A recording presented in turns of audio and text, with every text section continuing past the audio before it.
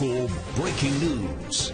This is WYFF News 4 at 6 in high definition.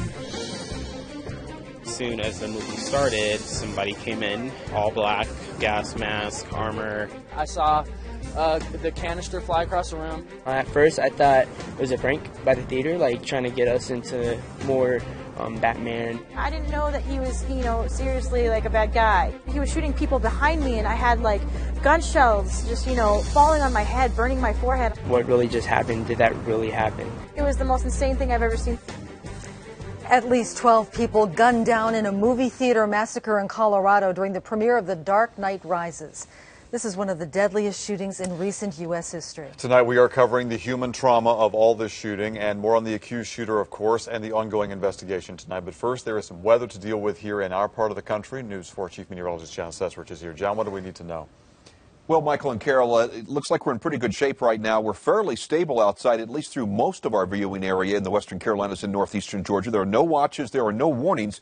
In fact, the thunderstorms that fired up this afternoon are really in the central part of the upstate, right around the Greenville area. And then they kind of intensified extremely heavy rainfall in the central and eastern part of the upstate. And that's where it's falling right now. Very heavy thunderstorms move through the Charlotte area with flash flooding going on there in downtown Charlotte, right along Interstate 77. Very heavy thunderstorms below severe limits, but producing lots of lightning, gusty winds, and extremely heavy rainfall associated with these thunderstorms all the way back into Laurens County. So no watches, no warnings, but we'll certainly keep you updated. And we'll talk more about the upcoming weekend, which has a chance of a potential for severe weather. Now back to you, Michael. John, talking Charlotte, take a look at this. The rain came down so hard in Charlotte, it caused mm. part of the South Park Mall to collapse. You see there, those two holes in the roof, that's part of the collapse. Our affiliate here in Charlotte tells us emergency crews are on the scene there right now. They have evacuated this mall. You see the water pouring oh. in there. No word on any injuries so far. Of course, continuing coverage on this on News 4 tonight at 11 o'clock. Condolences in Colorado tonight after 12 people died and dozens more were injured in a packed movie theater. The accused shooter is in custody tonight, but the investigation into what provoked this attack is only beginning. Our reporting begins tonight with Stacy Cohen on how it all happened. There is at least one person that's been shot, but they're saying there's hundreds of people just running around. Chaos and panic following a shooting at a midnight showing of The Dark Knight Rises. Authorities say a man propped open an exit door to Theater 9 at this Aurora, Colorado cinema and threw in a smoke canister before allegedly unleashing a spray of gunfire on unsuspecting moviegoers. All you hear is just gunfire left and right. Anytime somebody tried to just get up and run away, he would just shoot them. He didn't have a specific agenda. He was just shooting people left and right. Law enforcement sources identify the suspect as 24-year-old James Holmes. Officers searched his car and evacuated his apartment complex after the suspect allegedly made comments about explosives. And our investigation determined that his apartment is booby trapped with various incendiary and chemical devices and apparent tripwires. It may be resolved in hours or days. As the investigation into the crime continues, the community is rallying together. We've taken a blow today, but we will get back on our feet and we will move ahead. The president held a moment of silence and called for a day of prayer and reflection in memory of the victims. It's the reminder that uh, life is very fragile. Our time here is limited and it is precious. Holmes could be in court as early as Monday. I'm Stacy Cohan reporting. Tonight we continue our coverage with News 4's Mike McCormick, live and local in Greenville County. And Mike, you've spent part of this day talking to movie fans in the upstate. Yeah, that's right, Michael. In fact, we just saw a deputy ride through the parking lot here off Woodruff Road, and there's another one parked outside of the theater. More and more people are showing up, and what they tell us is that they're not really afraid to be here. If anything, they're being a little bit more cautious than usual my reaction was like horror. I was like, you know, horrified. Megan Pickens found out about what happened in Colorado when she got to this theater to see a different movie. It's kind of scary. But not scary enough to keep people away from theaters in our area. We're just going to try to enjoy it and, you know, not think about that. That's horrible that it happened. Seeing any movie right now means keeping one eye on the screen and the other on their surroundings. It's still in the back of my mind. Anybody that comes in that theater after it's starting, I'm looking at them. Just, you know, watch over your shoulder, something like that. Regal Entertainment Group, which owns this theater, released this statement, reading in part report, quote, "The security and safety of our guests and staff is always our number one priority. As is our custom, we will continue to monitor the situation and adjust our security needs as necessary." End quote. Security or not, there's always a risk, says Pickens. Every day in your everyday life, you have to know that there's going to be things that could affect you, that could harm you, and you just kind of have to take that risk when you go out in public. Her hope is that fear isn't all that comes from this. I feel horrible for what happened to those people, and I just hope that, you know, other people will take a note from this. And we want you to tell us how you feel. Is what happening what happened in Colorado keeping you from coming to the movies in our area? Go to WYFF4.com and take the survey right there on the homepage. Mike McCormick, WYFF News 4, live tonight in Greenville County. Mike, thank you. Emergency response teams quickly set up on the scene of the shooting. We're also hearing communications from first responders as they tried to help the victims from the shooting. Get us some damn gas masks for Theater 9. We can't get in it. We need rescue inside the auditorium. Multiple victims. 16, I seven down in Theater 9. Seven down. First responders have a critical role when dealing with a crisis like the movie theater massacre. Their goal is to protect lives in a very volatile environment before SWAT teams can arrive. To prepare for these situations, area law enforcement agencies carry out elaborate training scenarios. This exercise took place last month in Newberry County.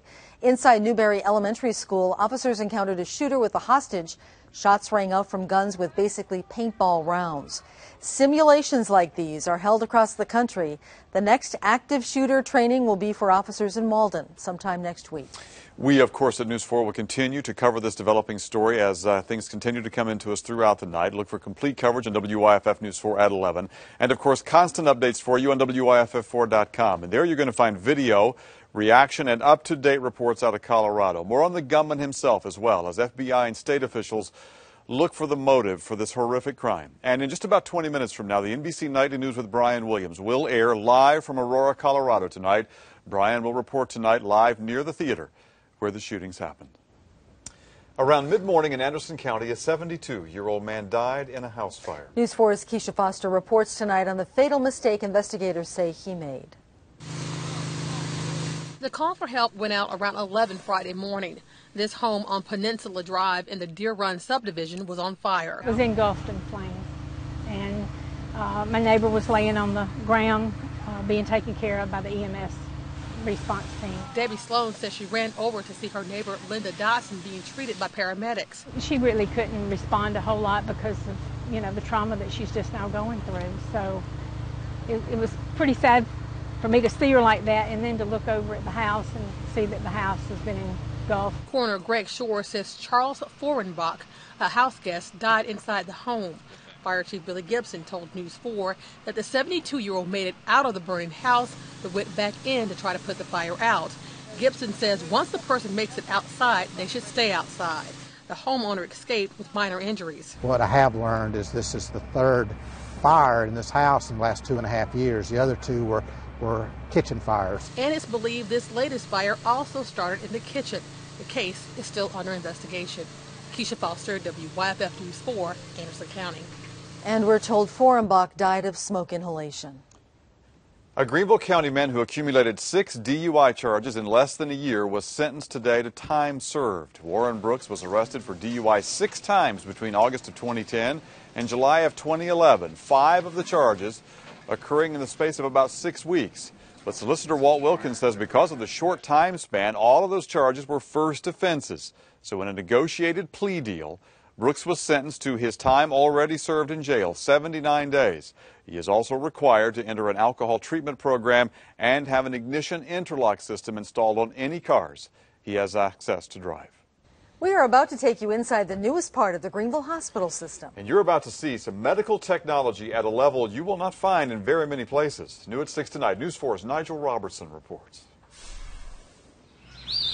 This is the newest piece of the Greenville hospital system. Uh, this is amazing. It's a phenomenal space. We've been waiting for many years to get into it, and now that we're here, we still can't believe it. Welcome to the Health Services Education Building, which is home to the state of the art, fully high tech University of South Carolina School of Medicine, Greenville. And then we have the ability to hook up high fidelity mannequins so that we can actually run a scenarios. Medical Director Dr. Rob Morgan walked us through the facility, showing us all the different patient simulators where students will learn. And that's where simulation is important because you don't want to have to deal with it the first time live. Helen Haskell knows the pain of that all too well. This plaque hangs on the wall in memory of her son, Lewis Wardlaw Haskell Blackman, who died in 2000 at MUSC. She says her son bled to death because of an undiagnosed rupture that she says the staff there did not recognize. Now she has made it her mission. After Lewis died, I started down this road of, of patient safety and healthcare improvement. In a few weeks, medical students will be putting these simulators and this technology to work, meaning the future of medicine will be very different. This allows us to train some of the next generation of healthcare professionals who we expect to stay here in the upstate, and that's a huge plus for us. And he's breathing, exactly right. State of the art healthcare training right here at home. It brings to real life some of what I used to read in a textbook. Nigel Robertson, WYFF News 4, Greenville. Nigel tells us that New Greenville Center is part of a network of simulation centers made possible in part by state lawmakers, $5 million from Smart State Centers, and a $1 million Duke endowment. Scammers locking up your computer and claiming to be from the FBI? Well, tonight on News 4 at 11, details on this ransomware and what to do if your computer gets attacked. Now, your live Super Doppler 4 HD weather forecast. And Live Super Doppler 4 HD showing most of the action now in the eastern part of the upstate, really right along the I 77 corridor uh, between Columbia and Charlotte. Of course, Charlotte ended up with about two to four inches of rain in a short period of time. Big time thunderstorms rumbled through the Charlotte area, downtown Charlotte. Flash flood warning continues for downtown Charlotte as we go through this evening. Then we also have some thunderstorms on the back edge of the system in through Laurens County. A couple of stray showers in through the mountains, but really not too much going on right now. A little shower moving through you folks in Brevard, some brief heavy rain there, but no lightning associated with that. So things are fairly quiet fairly stable behind the system. These thunderstorms developed really right over Greenville in the central part of the upstate and then really started to intensify as they made their way into the eastern part of the upstate and especially as they moved up I-85 into the Charlotte area, producing extremely heavy rainfall. You can see those thunderstorms moving through the Laurens area earlier and now beginning to move through Clinton over the last half hour or so. Very heavy rain right along Interstate 26 and all the way over into Whitmire. And these thunderstorms are moving off to the east at about 20 to 25 miles per hour. No watches, no warnings across the area.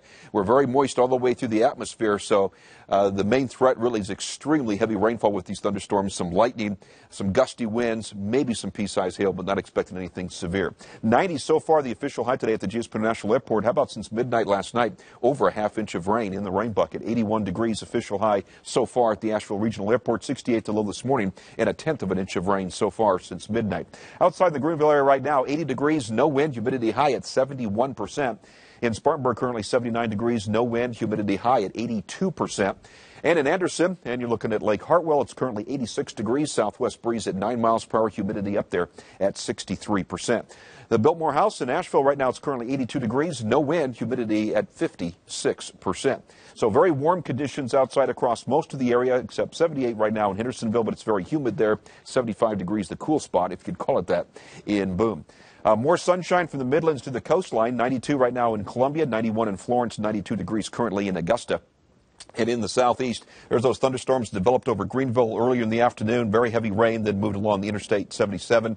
From there, all the way through Raleigh, central and eastern part of North Carolina, very heavy thunderstorms continuing. No watch boxes across the area. Have to go all the way to the Pacific Northwest of all places, eastern Washington state and the chimney of Idaho under severe thunderstorm watch as we go through this evening. Heat continues in the middle part of the country. Right now it's 107 degrees. That's not the heat index, current temperature in Oklahoma City. So an isolated thunderstorm still possible as we go through this evening. Muggy conditions, patchy fog, scattered thunderstorms mainly tomorrow afternoon, maybe a few showers in, in the morning in the upstate, high temperature 87. 81 in the mountains tomorrow, scattered showers and thunderstorms, thunderstorms mainly in the afternoon and evening. And the cold front becomes stationary just off to our north, which means as long as it's close by, a threat of thunderstorms mainly in the afternoon and evening over the entire weekend. And the few thunderstorms could be locally strong. We'll keep you updated throughout the weekend. Wow. Pretty typical July, isn't yep, it? it certainly is. Same thing.